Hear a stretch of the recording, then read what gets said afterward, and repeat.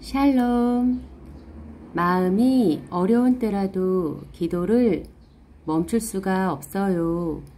주위에 아프신 분과 그의 가족들을 위해 치료자 되시는 하나님께 중보기도 합니다. 주님 안에서 승리하세요.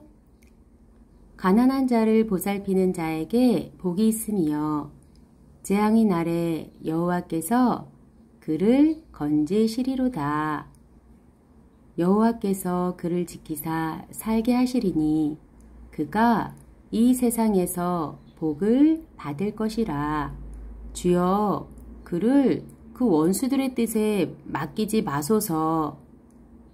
여호와께서 그를 병상에서 붙드시고 그가 누워 있을 때마다 그의 병을 고쳐 주시나이다. 10편 41편 1절에서 3절 말씀. 아멘